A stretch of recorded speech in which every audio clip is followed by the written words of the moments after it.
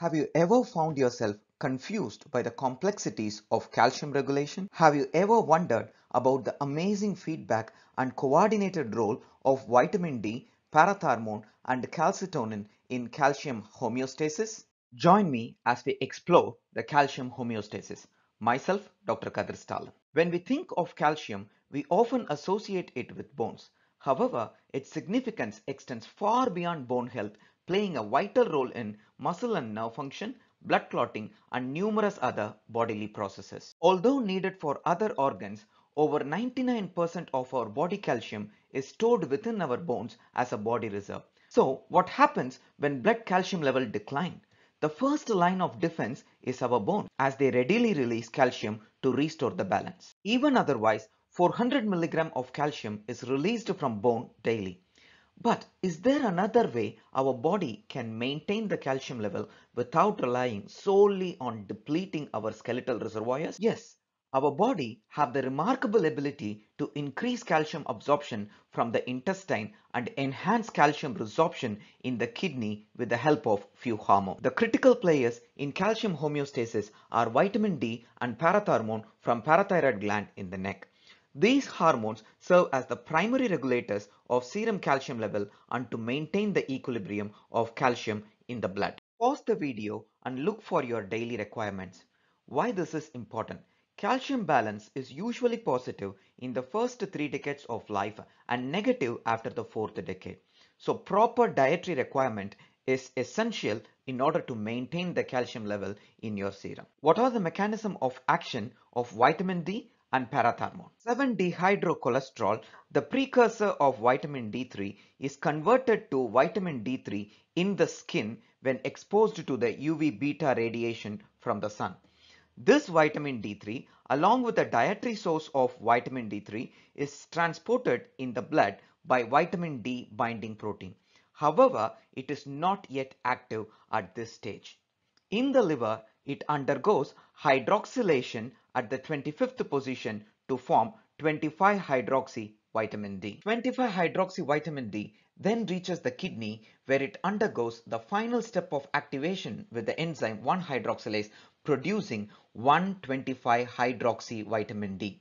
This active form of vitamin D play three primary roles and has one feedback role. Firstly, it activates the osteoclast through the osteoblast promoting bone resorption and releasing calcium and phosphate into the blood.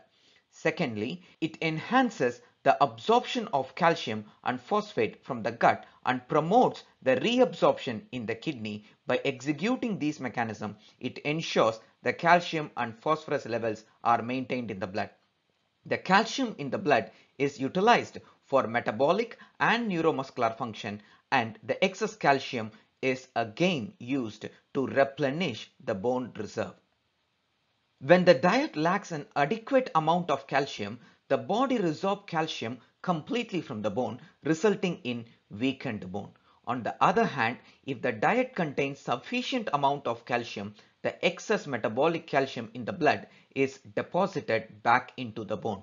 This is the reason why doctors often prescribe vitamin D supplements along with the calcium. Without sufficient amount of calcium intake, vitamin D can lead to excessive reabsorption of calcium from the bone instead of aiding the bone health. Vitamin D also has a feedback role. Increasing level of vitamin D in the blood inhibit the action of parathormones on the kidney creating a negative feedback mechanism that prevents the activation of vitamin D precursors. So how does parathormone work? When the blood calcium decreases, parathyroid gland senses it and secrete parathormone. Parathormone has two major roles. Firstly, it stimulates osteoclast through osteoblast causing bone resorption and releasing calcium into the blood.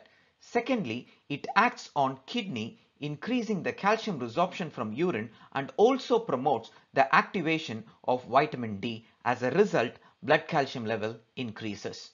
This increased blood calcium negatively inhibits the production of further parathormone and stimulates the production of another hormone called as calcitonin. They are secreted from the parafollicle cells of the thyroid gland. Although limited, calcitonin inhibits osteoclast directly and allow the osteoblast to deposit the calcium from the blood into the bone, decreasing the serum calcium level. One small difference between the action of parathormone and vitamin D is that vitamin D increases both blood calcium and phosphate level whereas parathormone increases blood calcium but decreases the blood phosphate level. Other hormones such as estrogen inhibit the bone resorption and prevents the bone loss. Corticosteroids on the other hand can increase bone loss causing osteoporosis. Large doses of thyroxine can also lead to osteoporosis but it is important to note that thyroid hormone is also necessary for bone healing. Growth hormone plays a significant role in maintaining a positive calcium balance. That is all about the calcium homeostasis, vitamin D, parathormone, calcitonin and other hormones. If you have any questions related to this topic, please feel free to post it as a comment. We are happy to help you out. Also, please comment your feedback about this video. It will help us to make much better video in future. Thank you.